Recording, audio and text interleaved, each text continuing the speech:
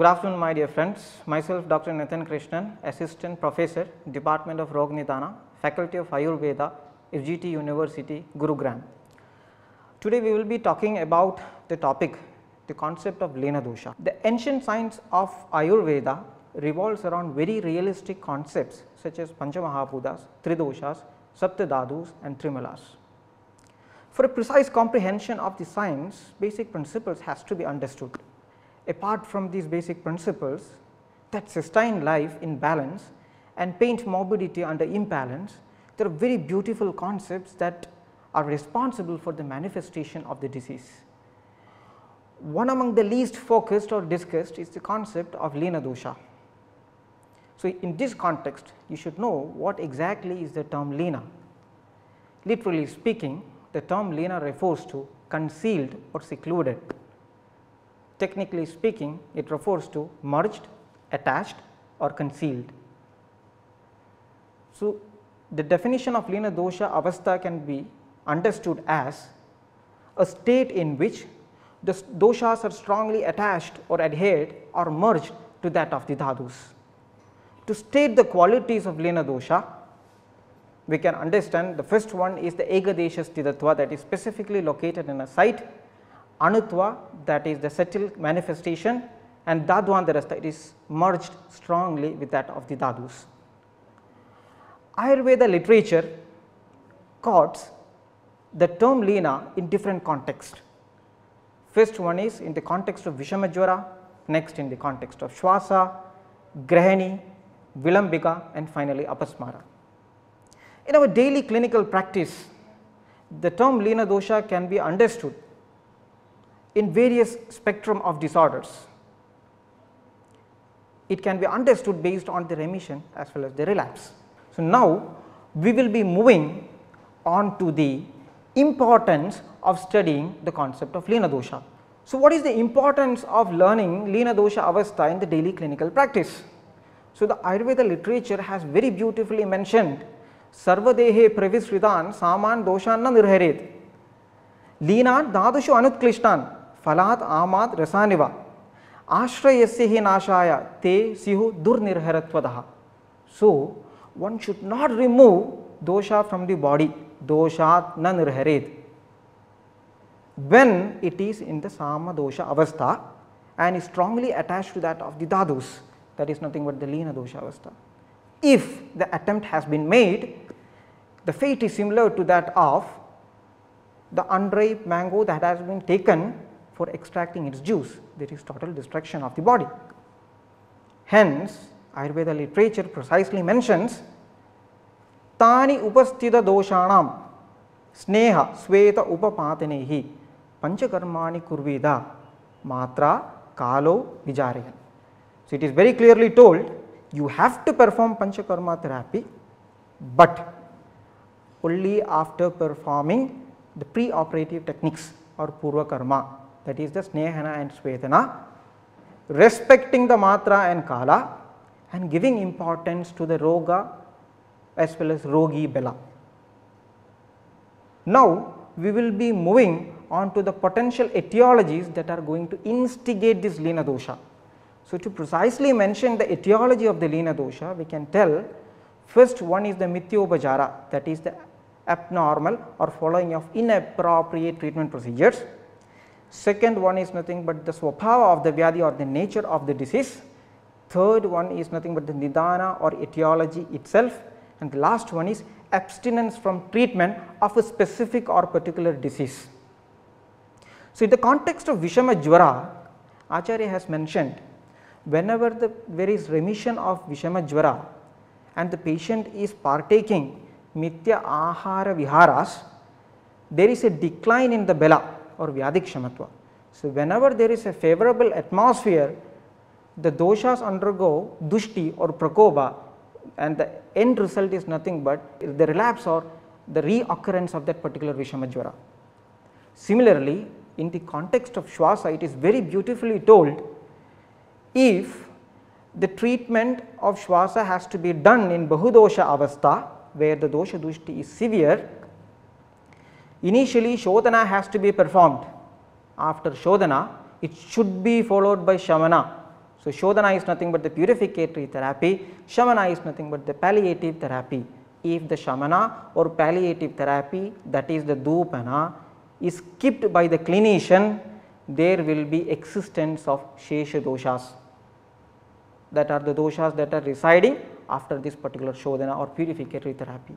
And these Shesha doshas will be merging strongly to that of the Dhadus and it will be converting to the Lina dosha avastha. Hence, there is a chance of reoccurrence of the Shwasaroga or respiratory disorders. In the next example, Acharya tells regarding the disease of Grahani. So, in the disease of Grahani, there is Agni that is the poor digestive fire and this Agni result into the formation of Ama and the Ama in conjunction with that of the dosha forms the Sama dosha avastha and the Sama dosha avastha turns on to Lina dosha avastha where there can be recurrence of this particular disease or grahani which in contemporary science is understood as irritable bowel syndrome. Next, in the context of Apasmara it is very interesting to discuss there is recurrent or intermittent epileptic seizures. So, here the term Lina has been understood with reference to the attack, the frequency of attack. So, Lina dosha can be understood in two ways. First one is with reference to the dosha avastha in case of Grahani, in case of Vilambika, in case of Vishamajvara and in case of Shwasa. Whereas, in case of Apasmara, the Lina, the term Lina refers to the Vega Avastha. So, Lina can be understood as Dosha Avastha, Lina can be understood as the Vega Avastha. So, what is the contemporary understanding of this particular Lina Dosha concept? Many diseases can be understood with reference to that of the concept of Lina Dosha. For example, acquired immunodeficiency syndrome, AIDS, filariasis, leprosy, herpes zoster, herpes simplex and so on. So, for time being we will be explaining malaria with reference to the concept of Lina dosha the vector that is responsible for spreading this particular disease malaria is nothing but the female anopheline mosquitoes. So, the plasmodial sporozoite that is present in the salivary gland of this female anopheline mosquitoes will be injecting it onto the human body, it will be shifting onto the bloodstream, ultimately it will be reaching into the liver and the fundamental unit of liver we call it as the liver cells that is the hepatocytes. And this is nothing but the pre-erythrocytic schizogony or merogony stage. In that particular stage there is proliferation of this particular plasmodial sporozoite that is going to happen. Once there is proliferation the hepatocytes will be swollen up finally it will be bursting and this particular merozoites will be released onto the systemic circulation. And once it is into the systemic circulation, it moves on to the RBCs or red blood corpuscles or the erythrocytes. And in, in that particular RBC, in that particular structure, it divides 8 to 20 times and when it reaches a number of 50 plasmodial sporozoites or 50 organisms per each microliter of the blood, there is clinical manifestation of malaria that is going to happen. But in all the cases there may not be proliferation of plasmodial sporozoite in the hepatocyte or in the liver cell. There can be in a stage of dormancy or inactive phase it is called as the hypnozoites or the dormant form. This is nothing but something similar to that of the good old concept that is told in Ayurveda 5000 years before that is nothing but the Lina dosha avastha. Now, we will be moving on to the understanding of the term latency and Lina dosha. The term latency can be defined as a state of seeming inactivity or a state of existence, but a state of absolute non manifestation or absolute absence of manifestation. Here the term anutklishta, the quality of uh, quality of lina dosha that is nothing but anutklishta avastha can be understood with reference to the term latency. Where Anutklishta avastha is nothing but there is no signs and symptoms which is in a perceivable level. So, this is nothing but the comparison of the term latency with that of the concept lena dosha. The term shlishta here refers to the strong adherence or attachment of this particular dosha to that of the dhadus. So, this is what you should understand with reference to the term latency and lena dosha. Now, we should understand the impact of lena dosha in Vyadhikshamatva. In the context of Punaravartaka Jwara, Acharya have told whenever there is a decline in Bela, there is relapse of the fever that is going to happen. So, taking on to that concept of Bela or Vyadhikshamatva, we can understand many diseases that is told in the modern science with reference to the Lena Dosha Avastha. First one is with reference to the herpes zoster.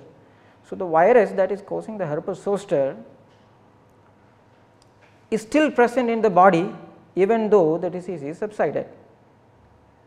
The reactivation or relapse of that particular disease is not clearly known, the mechanism is poorly understood. So, that particular stage of latency is nothing but Lena dosha avastha. When you take the disease of acquired immunodeficiency syndrome that is caused by human immunodeficiency virus, there is a specific phase called as the latent phase. It can last up to 10 years or it can even go more than 10 years and it depends upon the extent of strength of the immunity that is possessed by that particular patient. So, this is also nothing but the concept of Lena dosha avastha, a stage of latency. So, any number of diseases can be mentioned from the contemporary science with reference to that of the Lena dosha avastha. Finally, we will be moving on to the incidence and clinical discernment of Lena dosha avastha. So, how we can understand Lena dosha avastha in a clinical setup when a patient is coming to a clinic how we are going to tell this particular disease or pathogenesis is in Lena dosha avastha. So, this can be told in a very simplistic way whenever there is a, relapse that is caused by the same disease that was previously treated, then you have to assume that it is nothing but a Lena dosha avastha. The doshas has not been properly removed from the body or the Vyadhikshamatva or Bela has been declined. Then what is the incidence of this Lena dosha? Lena dosha can happen before treatment as well as after treatment. Before treatment, Lena dosha can happen with reference to that of the Sama doshas. That is, whenever there is Agnimadhya, there is formation of Ama and the Ama that has been formed will be merged with that of the doshas that forms the Sama dosha or is associated with that of the doshas and these Sama doshas when it gets attached to that of the dhadus it converts into Lena dosha avastha. So, this is nothing but the incidence of Lena dosha before treatment. Next coming on to the incidence of Lena dosha after treatment of the disease. We have already quoted the treatment of Shwasa Roga that is in Bahudosha avastha. So, whenever there is Bahudosha avastha Shodhana has to be performed it should be followed by Shamana this we have already told. If that particular Shamana has been skipped by the clinician then there is Shesha dosha avastha that is residual doshas are still existing in the body. So, these Shesha doshas will convert into Lena dosha by getting strongly attached to that of the dhadus.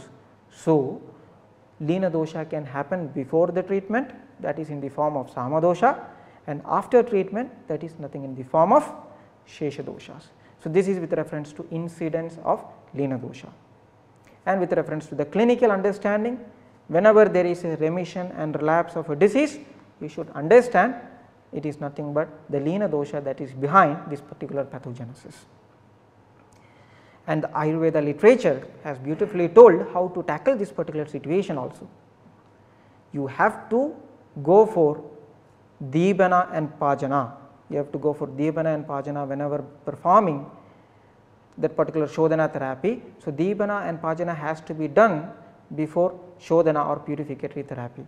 If I tell Deepana Pachana, then I have to add Shodhananga Snehana and Shodhananga Swedana also has to be performed before doing this particular Shodhana. And after Shodhana, it has to be followed by Shamana therapy that is nothing but the palliative care. Then what you have to do, the last is nothing but the Rasayana. So, this is the treatment protocol that has to be followed. So, Deepana and Pachana, Shodhananga Snehana and Shodhananga Swedana, then Shodhana, later it is nothing but the Shamana and finally the Rasayana therapy has to be followed. So, this is how you are going to tackle the Lina Dosha Avastha. Still there is recurrence of the disease, then you should understand the treatment that you assumed that it is correctly done was not properly administered, then again the treatment has to be done. So, this is with reference to the intervention of Lina Dosha Avastha. So, to conclude, Lina Dosha Avastha is nothing but a state of latency, a state of seeming inactivity, a state of existence with absolute non-manifestation or absolute absence of manifestation where the doshas are strongly attached to that of the dhadus, where there is recurrence of the disease, where the treatment has to be given in a systematic protocol. And the term Lina can be understood as dosha avastha as we have already told with reference to that of the Shwasa, with reference to that of the Grahani, with reference to that of the Vishamajvara. And the term Lina also can be understood with reference to that of Apasmara that is nothing but the Vega Avastha the attack of that epileptic seizures. So, for a non-futile treatment of a particular disease, a systematic protocol has to be followed in order to avoid the Lina dosha that is coming from Shesha doshas and before treatment a proper Deepana Pachana has to be given so that to avoid Sama doshas leading to the Lina doshas. Thank you.